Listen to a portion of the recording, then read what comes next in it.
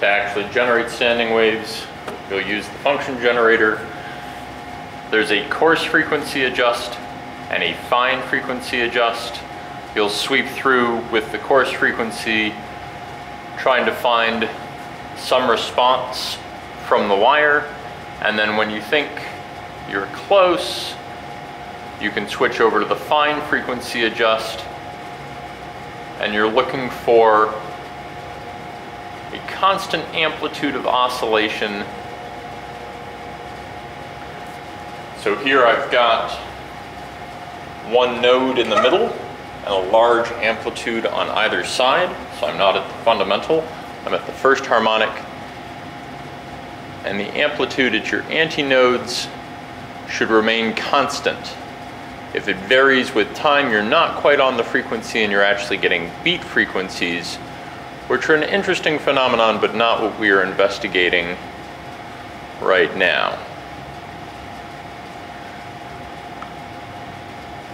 It'll take some twiddling with the dial to get that frequency spot on.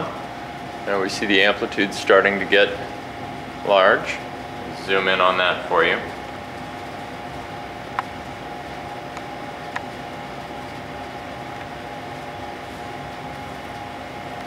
So right at the side here, I've got an anti, I've got a node where it's not vibrating, and then over on this side, it's vibrating. Let me take that off of resonance, and you'll see the vibration go away. When you are on resonance, you can switch from measuring from one second to measuring for 10 seconds, and that will give you a count of how many oscillations in that time period happen. Now you need to let it go through two full 10 second intervals so that it correctly starts counting. And when the second 10 second interval goes by, we can see 577 oscillations in that 10 seconds.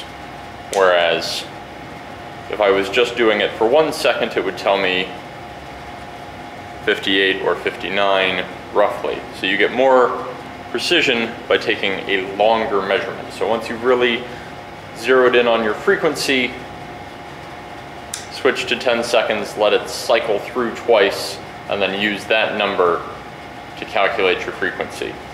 You'll find different harmonics at the same tension and then varying the tension so that you can get a good picture of what's going on in your standing wave.